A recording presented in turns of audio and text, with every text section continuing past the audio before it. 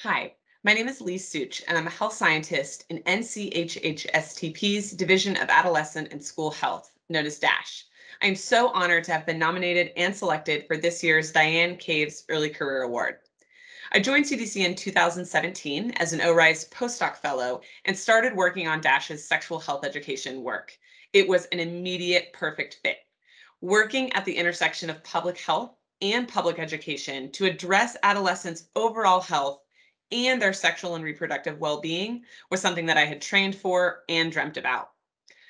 I've had the privilege of working with so many leading school health researchers, national, state, and local partners, and community based organizations, and most importantly, schools and school district staff, teachers, and leaders throughout the United States.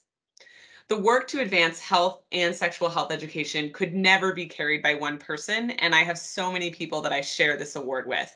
To my rock star colleagues, Emily, Diane, George, Catherine, Sally, Adrian, Daniela, and Caitlin, we did it.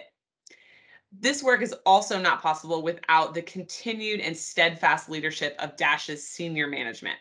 I'd like to thank especially Dr. Kathleen Ethier, our division director, as well as Drs. Patricia Dittus, Catherine Rasberry, Lisa Barrios, Mike Underwood, and Carmen Ashley for their continued support and forward thinking about school health.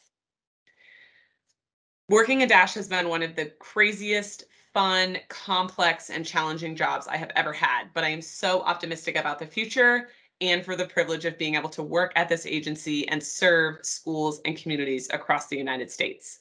On behalf of my whole team, division, branch. We are so honored to have uh, been selected for this award. Thank you so much.